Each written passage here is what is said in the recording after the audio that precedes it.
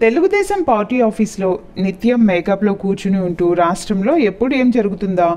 జగన్ ప్రభుత్వాన్ని తలా తోక లేకుండా తిట్టిపోయడానికి విమర్శలు గుప్పించడానికి ఎగబడిపోదామని ఎదురు చూస్తూ ఉండే స్టాఫ్ ఆర్టిస్ట్ కొమ్మారెడ్డి పట్టాభిరామ్ మరోసారి మీడియా ముందుకు వచ్చారు. ఉద్యోగ సంఘాలతో ప్రభుత్వం చర్చలు జరిపింది. ప్రధానంగా మూడు విషయాలపై వారికి రకరకాల హామీలు ఇచ్చింది.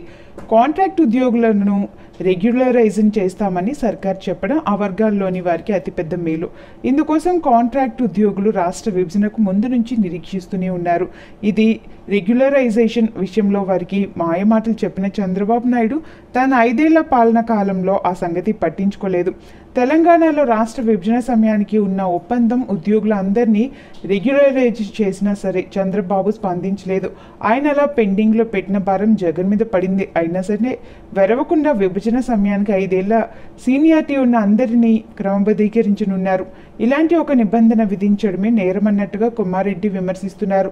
అసలు ఏమీ చేయకుండా వారిని గాలికి వదిలేసిన వంచిన చంద్రబాబుతో పోలిస్తే జగన్ ఎంతో మేలు చేస్తున్నట్టు కదా అనే అభిప్రాయం వారిలో వ్యక్తమవుతోంది. పీఆర్సీ విషయంలో కుమారెడ్డి పట్టాభిరం అజ్ఞానం మొత్తం బయటపడుతోంది. పదకొండవ పీఆర్సీ కింద రావాల్సిన ఇంకా పూర్తిగా రాలేదని అప్పుడే పన్నెండవ పీఆర్సీ అంటూ ప్రభుత్వం మోసం చేస్తుందని కుమారెడ్డి అంటున్నారు. కొత్త పీఆర్సీ వేయడం అనేది చాలా క్రమం తప్పకుండా జరగవలసిన ప్రాసెస్ అని దానివల్ల ఉద్యోగులకు మేలే తప్ప నష్టం ఉండదని పట్టాభి అర్థమైనట్లు లేదు.